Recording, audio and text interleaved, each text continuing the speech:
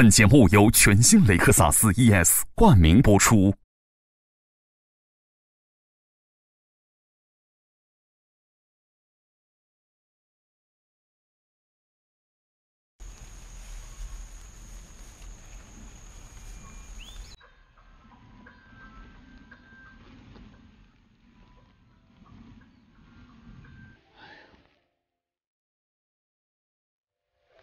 哎呀，不知道该怎么称呼您呢？叫您谭先生，还是叫您张京大人，还是叫您中县大夫，或者谭公？我觉得还是一些关键问题，想想想想问你吧，想询问你。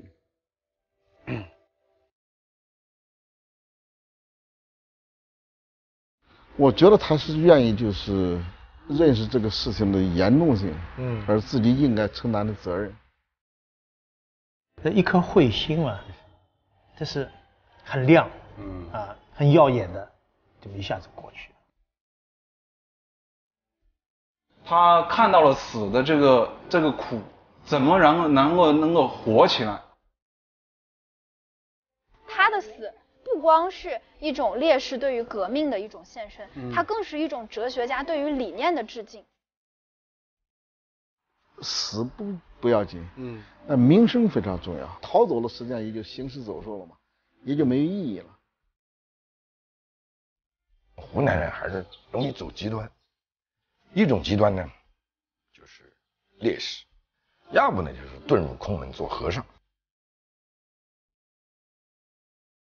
其实你看得出来，他对佛生命不灭这个想法，他非常强烈。中国人还是好生务死啊。他说：“我是一个小我，但是我的理念还有我身后的这群人是一个大我。嗯、生与死是一对要相互成全的概念，嗯、两个概念离开谁都是不可行的。他是真正的向死而生。”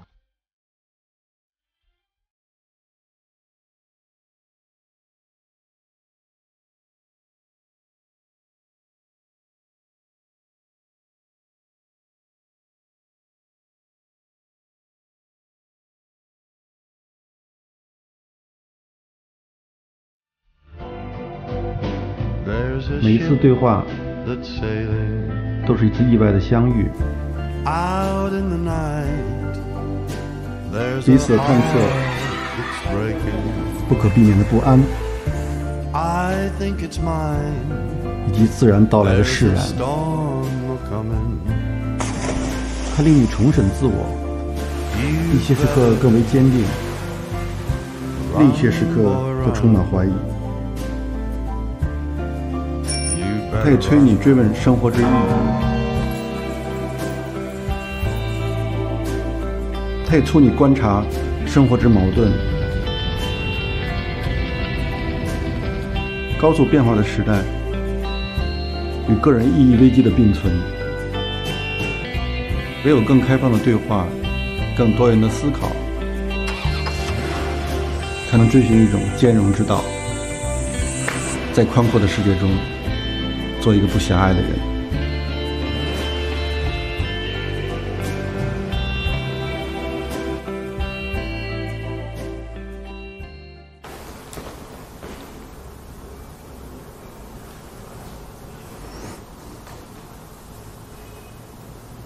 就是我们走一下，嗯嗯，看刘洋，嗯嗯，大大回四。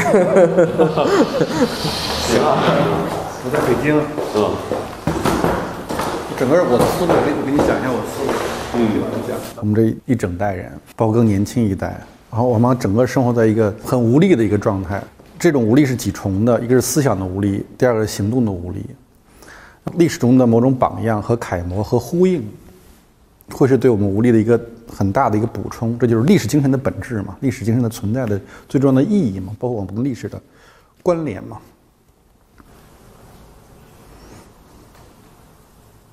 我觉得我们非常难的，我们难以的理解的很多东西是他的思想史、精神史，因为我们不存在那样的一个思想系统了。他们怎么想待、想象这个世界，我们很难理解的。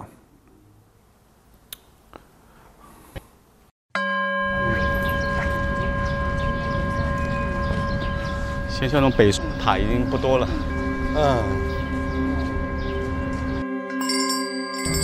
龙华的取名就是龙华三会，在佛教里面，就弥勒菩萨，嗯，五十六亿年之后，他会下降说佛，嗯，龙华三会，然后度尽说佛众生，就是龙华。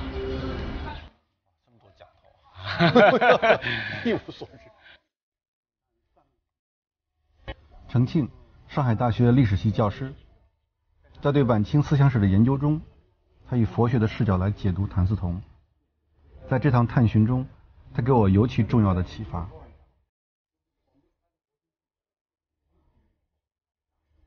你如果看谭嗣同的他当时的经历，他在一八九六年遇到了杨文慧，非常精通佛学的士大夫。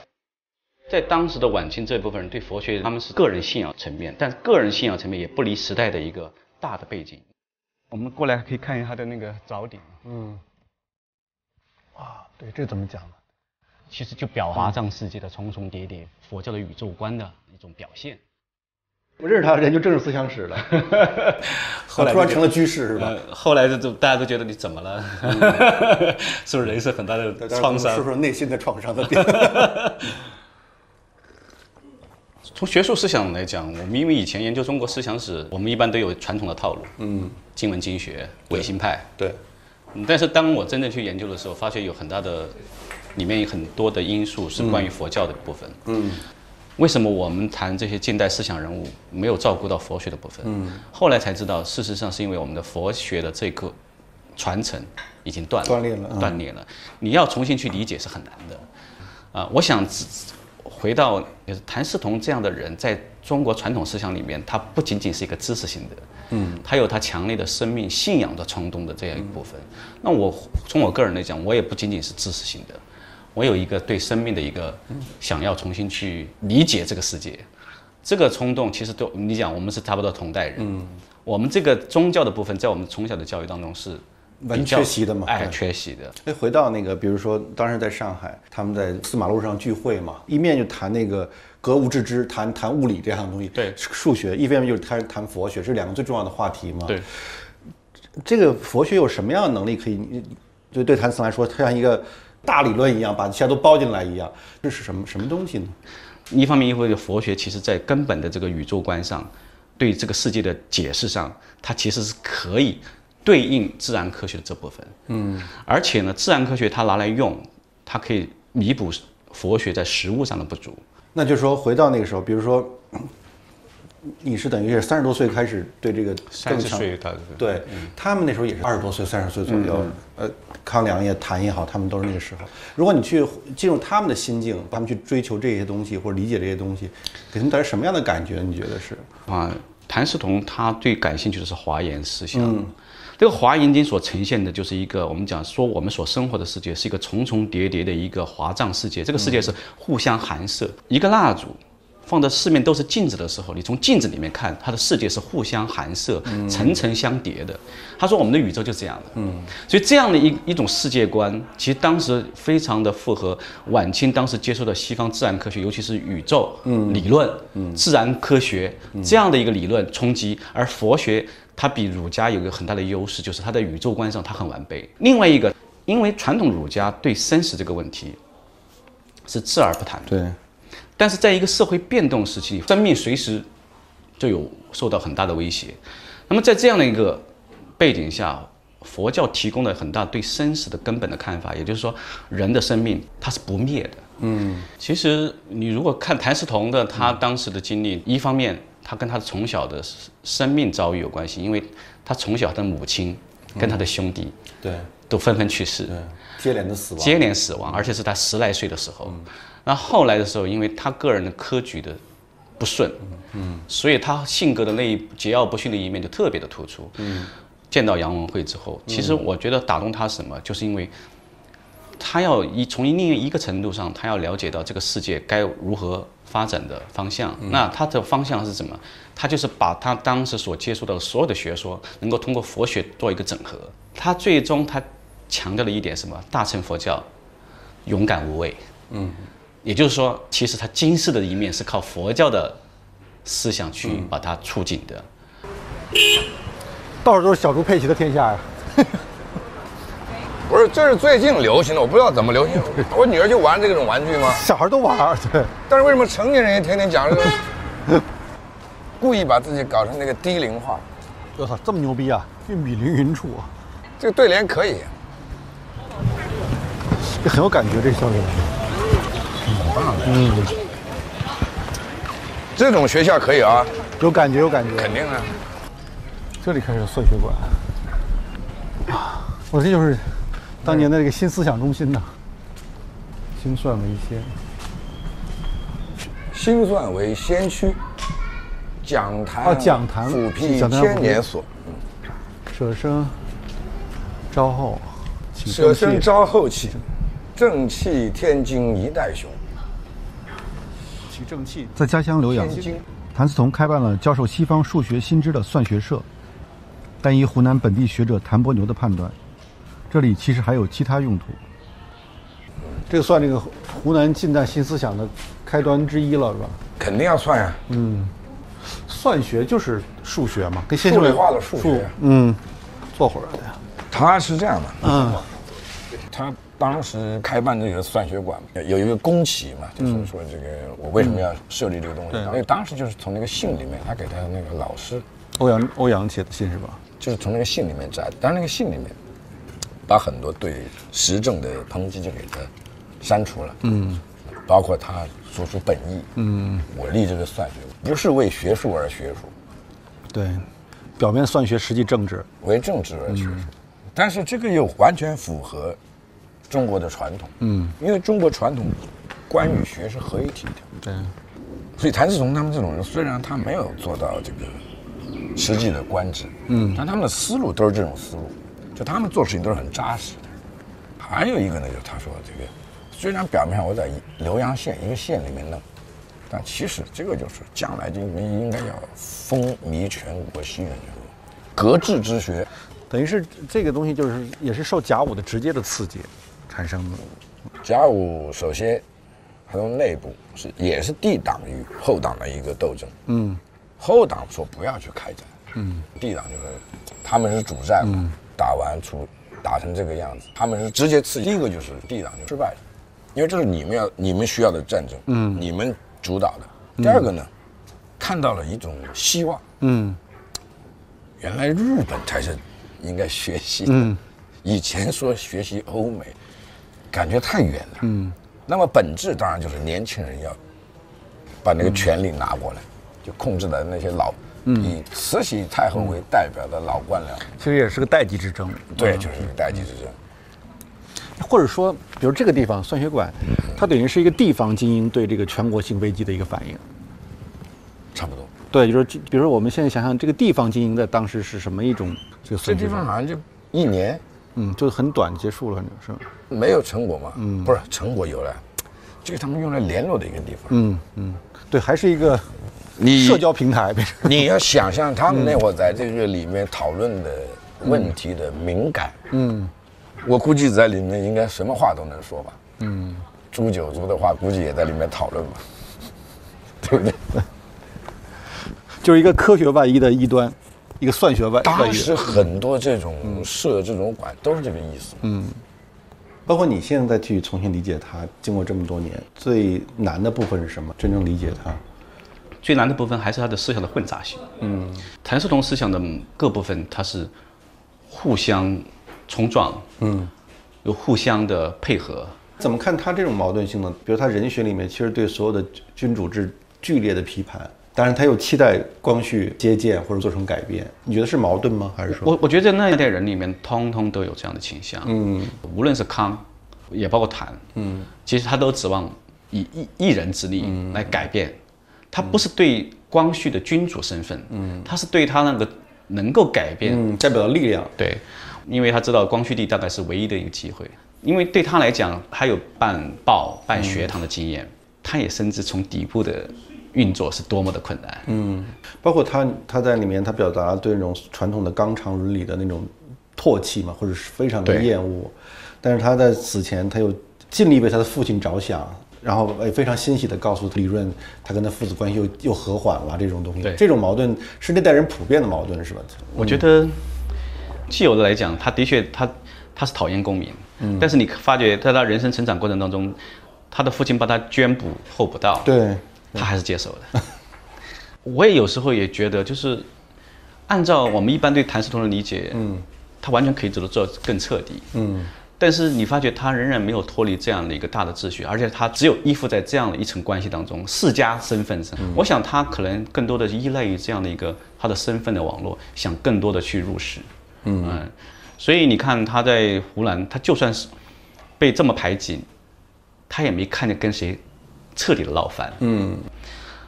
但是他们面对一个很大的一个，就是我们讲当时的一个社会的一个大变动。嗯，对待他的态度，我们今天是比较回避的。嗯，比如现现在这个社会很大变动，那我们基本上就是说与我何干？嗯，但是你发现那一代有一个很大的一个不一样的看法，就是这个世界是跟我相干的。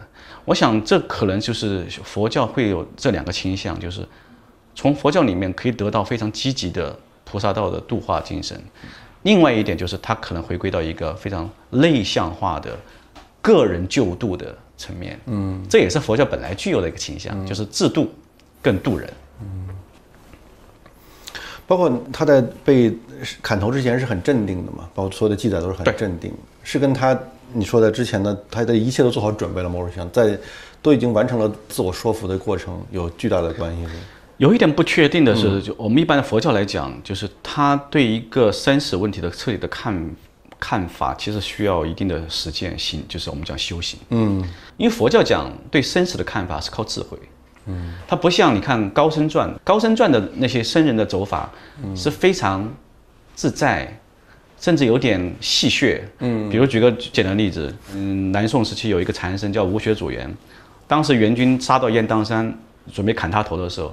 他就讲了一句偈子：“珍惜大圆三尺剑，电光银粒斩春风。”这种的临终的偈子的表达，跟有心杀贼无力回天的不一样情绪不一样的。嗯，所以我更觉得谭嗣同对佛教的智慧的真正的理解，我觉得是不够的。嗯，谭嗣同呢，他到底是以什么样的力量？我觉得他个人他的意志力很强，我就是相信。我就是绝然的相信，嗯，这个在佛教里面，他也承认这一类的信，因为他如此大的意志力，以至于他的信仰成为他的力量，嗯。那么在谭嗣同里面，他最后用了一个科学的概念，叫以太，嗯。其实你看得出来，他对佛生命不灭这个想法，他非常强烈。所以我有时候我看他人学的话，我有时觉得，你不能用知识去看他，你看他，他自己要问什么问题，嗯，他为什么强调这个？你看他很有趣，他他他他有时刻赴死的决心，嗯。但是这样的心态在传统儒家士大夫是不大有的。有一段非常感人的一个情节，就是谭嗣同在当接接到北京变法的这样的一个邀请，光绪帝的一个一一个谕令之后，他对他的呃妻子就讲：“此乃佛菩萨慈悲。”我看到这段，对不对？对。那后来又讲，他佛门的格局就是这勇敢无畏，所以因此他能够抛开我们过去的所谓的整个儒家的血统道统的负担。所以他的后后来的冲决网络，其实就从这里开始。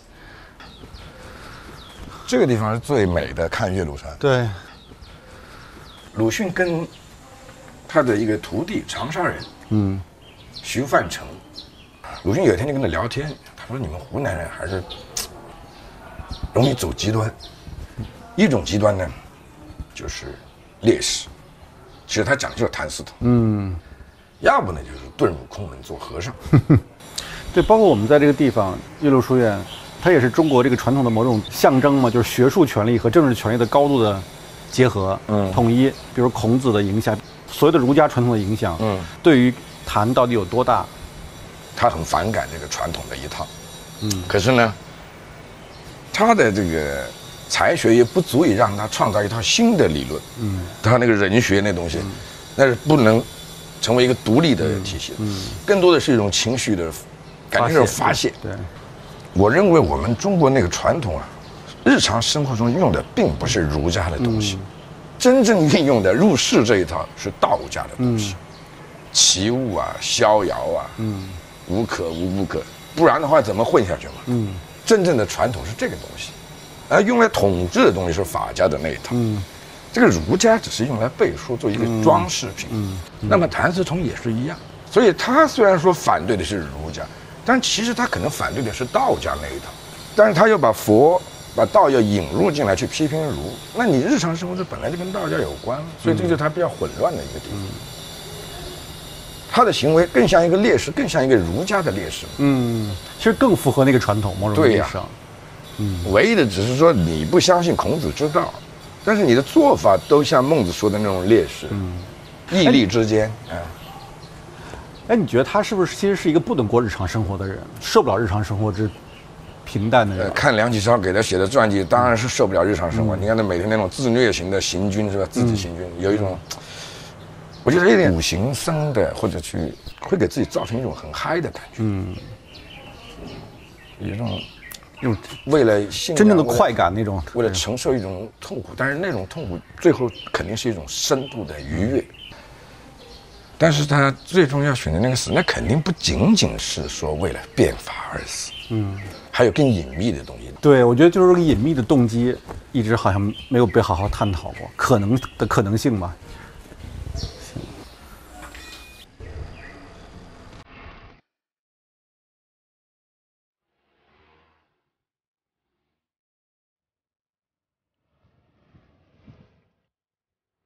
这个吗？是这个吧？啊，阿里嘎多。还可以啊。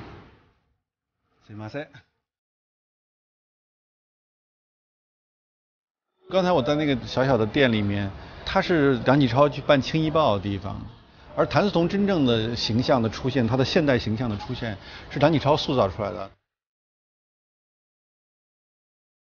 青报》上第一次完相对完整的发表了谭嗣同的作品的人学，然后梁启超也写了关于他的传记，然后这些杂志在这办好之后被运回到中国，嗯，像像地下的违禁品一样嘛，禁禁书一样，然后然后进入更广阔的渠道，然后很多人因此了解了谭嗣同。就我没有想到他在北京的牺牲一场流血事件之后，他们在横滨突然这场流血转化成一种新的一种英雄的形象，所以这是有很多感慨嘛。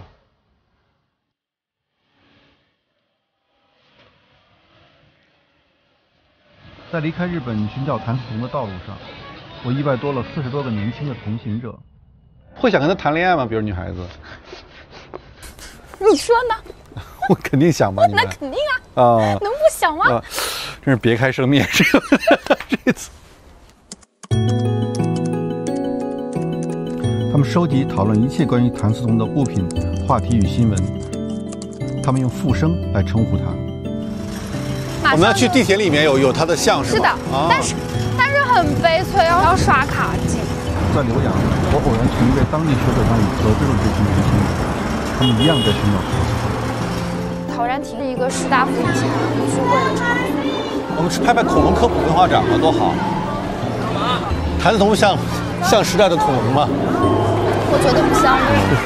是这样吗？嗯。为什么不像恐龙呢？因为根本没有任何相似之处。消失的物种啊！哦，这个倒是。我加入了他们的微信群，见到了来自山西的张维新。这就虎坊桥吗？是吧？是的。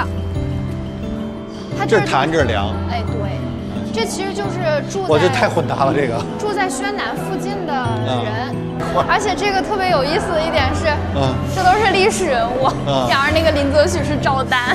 是，对。对。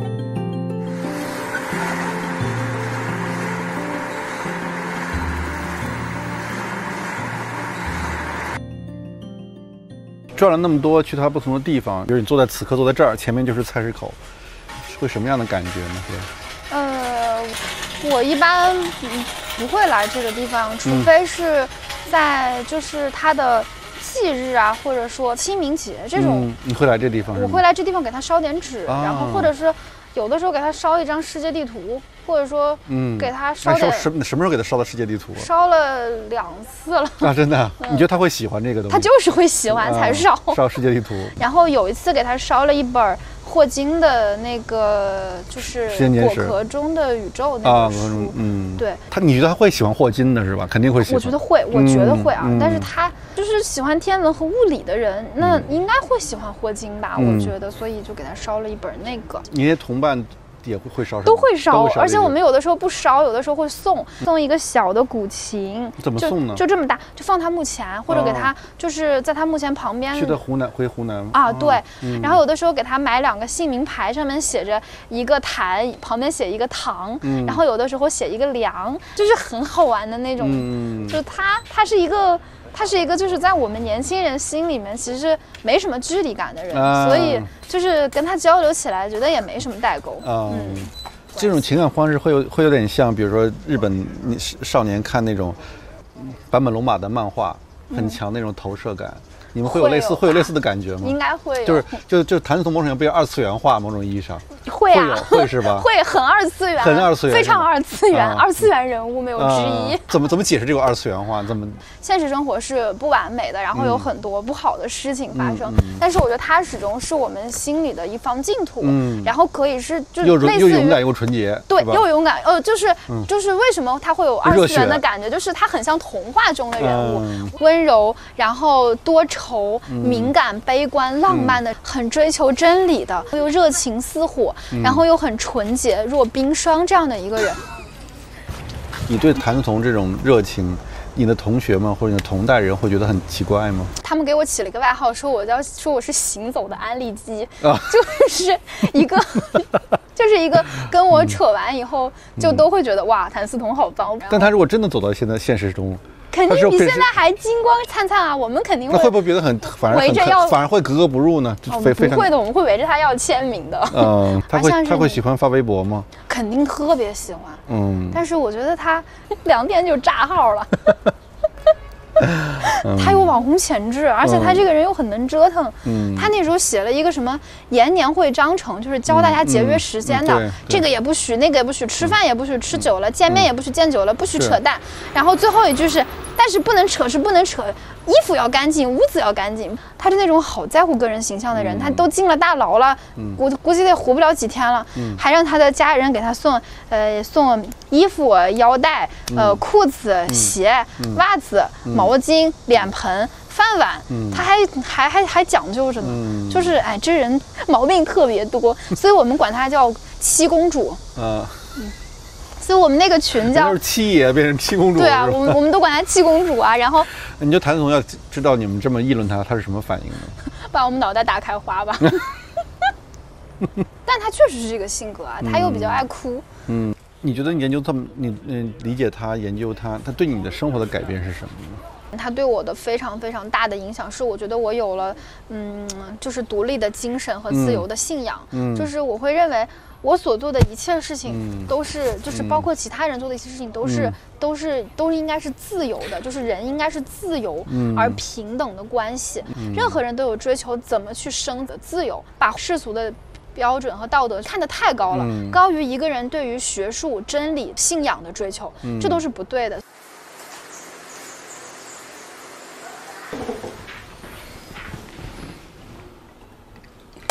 那比如说，你说。他死了一百二十年了，然后对于现在的一代人，他们想去理解他的话，有没有特别好的方式去理解他？或者说，在这个时代理解他的重要性在哪里呢？对我来讲，就是其实更有趣的就是要从谭嗣同那里重新去挖掘一个现在中国人仍然面临的问题，也就是说，当面对你一个时代大的变局的变动的时候，以及你个人生命的变动的时候，你该拿哪些观念去应应对？嗯。我们现在看到很这么多人信仰宗教，但是我们有时候没有去讨论的是这些东西到底给予他到底哪些方面的力量？因为有的人对于宗教的信仰来自于生死，有的人来自于生活的不顺，嗯，有的人来自于某种功利心。但是回到中国人的根根本问题就是，这些问题都仍然存在在那里。这些问题到底我们中国人是如何的去思考？嗯，也就是说我们这个时代缺乏典型意义上的人，嗯。我们不会提到某一个人说啊，那就是我生命的典范。我们一般都说哦，那是我们知识上的典范，或者说哦，道德上也可能也有典范。但是我们很少看到有种生命意义上的典范。谭嗣同他有点像生命典范。嗯，如果他活到现在，他会是什么样的人呢？他会干什么呢？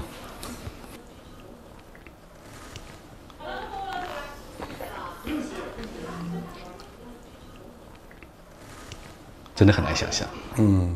你觉得咱们这代人会怎么样？咱们这一两代人，我们我们这代人说实话，客观讲是悲观的。嗯，其实这一代人其实回归宗教，其实都有一点我们讲内向化。嗯，茶、禅，对，明白啊？就是修身的层面。对，这种其实这是非常单面化的佛教的理解。嗯，当你最初听到。这个网络上传佛系青年的时候，你什么感觉？我觉得是它跟佛教没太大关系，但是它反映了就是这个社会普遍的一种挫败感。嗯，讲佛系的人，他常常都是拿佛系来自我的消解跟调侃，是一种缓解，但是他的追逐心绝对不佛系。因为我觉得大多数人受到挫败感，就是因为放在错误的位置。嗯，因为每个人有他的位置，但是今天的教育系统里面，通通的是要让不同的人放在同一个位置，这是他们生生命产生挫败感的最主要的来源，所以他们才会玩游戏啊。以前是因为社会生活的挫败而去投向道家。佛教现在是投向的游戏，一个道理嘛，对不对？所以我想一定要找到理智的位置。当然，这个过程当中需要他自己去走出家庭、社会、学校的这种种种的一些诱导跟压力。我觉得今天就其实那种约束跟他的桎梏非常强大。嗯，表面上我们是个多元的社会，事实上非常一元。嗯啊。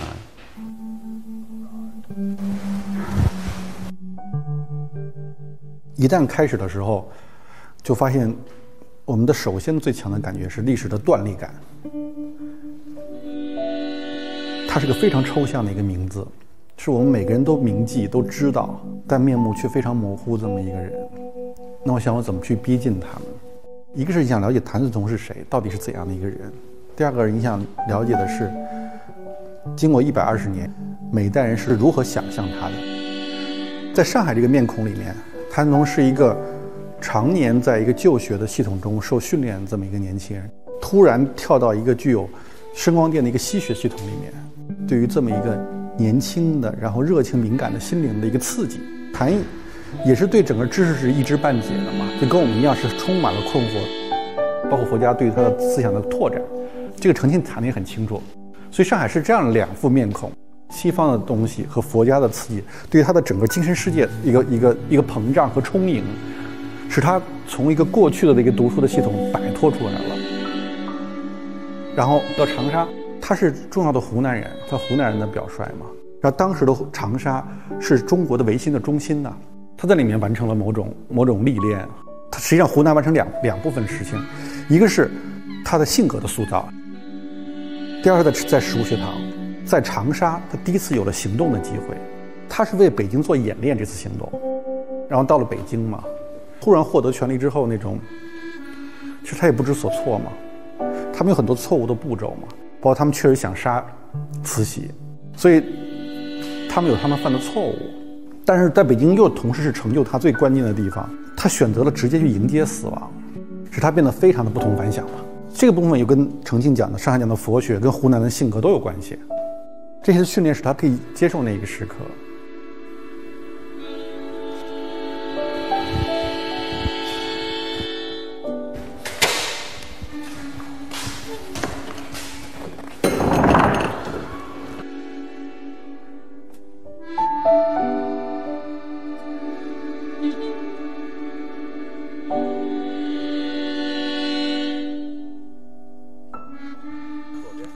这儿啊。这这还行，全是蚂蚁啊！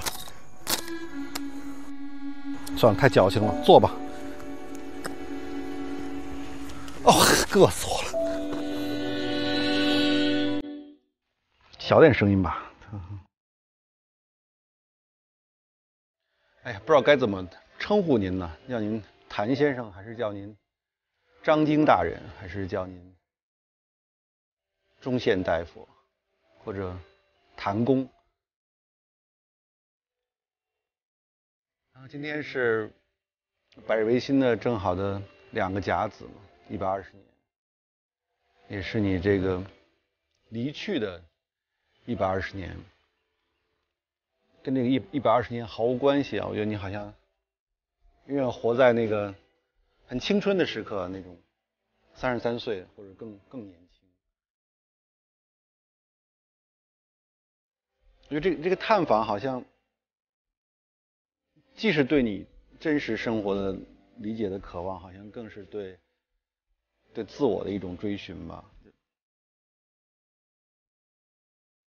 因为因为你基本上是一个非常符号式的存在，这个符号代表着某种非常强烈的情感，一种行动的勇气吧。我觉得尤其是行动的勇气。在面临一个巨大的动荡的时候，政治的、社会的、思想的这样的一种巨大挑战的时候，怎么应对这些挑战？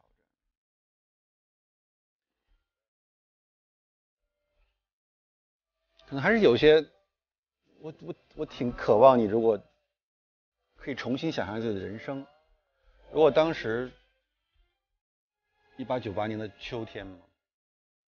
两种选择，一个选择，如果你逃走了，你像康梁一样离开了，你去了日本或者去了别的地方，你的生活会变成什么样子？你是因为恐惧这种选择。第二个是，如果你没有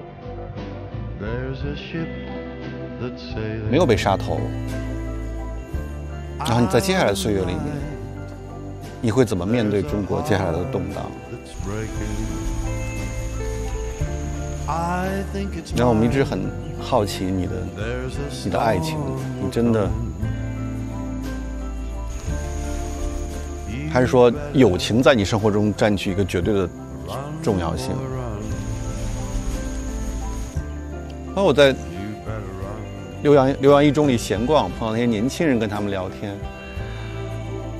然后如果你活着，你会看到他们，你觉得现在的浏阳是你渴望的样子吗？你会喜欢这个这个时代吗？也很想知道你的答案。